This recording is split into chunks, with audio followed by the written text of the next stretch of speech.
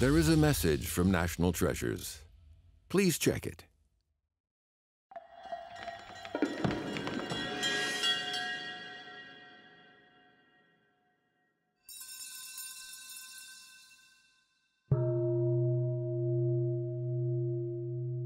Whichever way you look at it, with its exquisite detail, it's a superb piece of craftsmanship.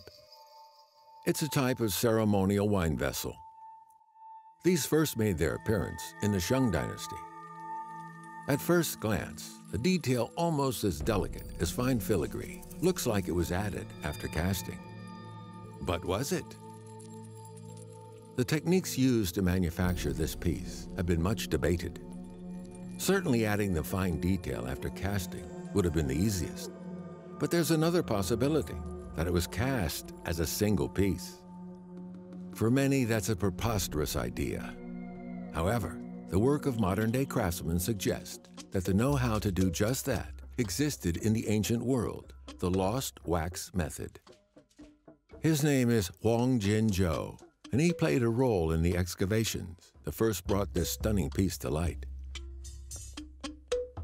当时完全是凭兴趣吧，石蜡法没人做，我开始就顺着这，我让我来搞石石蜡法，看是看是怎么样。 这么多年，我现在都记不清了，这是有几十次的。开始就不是石膏嘛，它只能搞一个大概几何形状，阴刻，是吧？刻成一个佛雕的那一个石膏模型。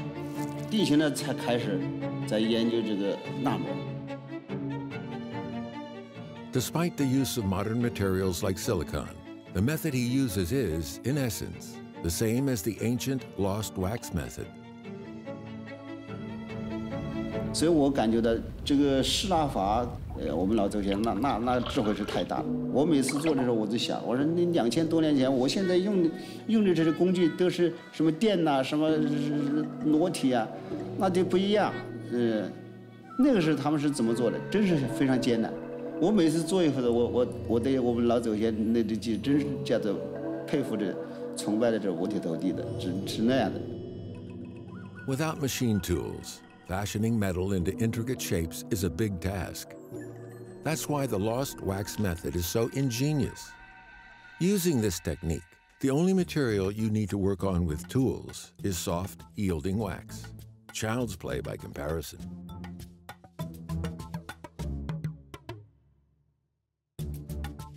Next comes the mold. The wax dummy is covered with three layers of quartz sand and left for two days. Once a hard shell is formed, it's time for the critical stage, the stage that gives the method its name.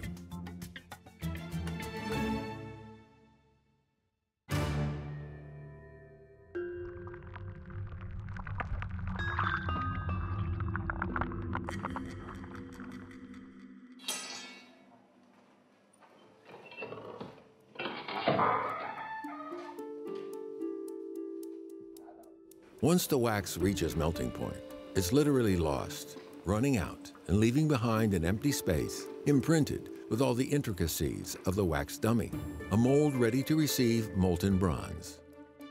Once it's cooled, the mold is chipped away, revealing the finished article, the finely chiseled lines of the wax dummy, transferred to resilient bronze.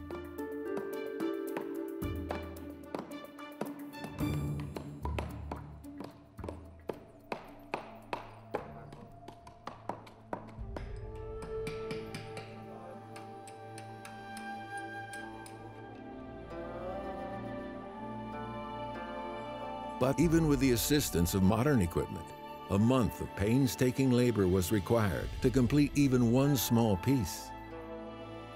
Just imagine how much patience and determination was needed to make a complete set of this complexity and intricacy. No wonder people are still marveling at it more than 2,000 years later.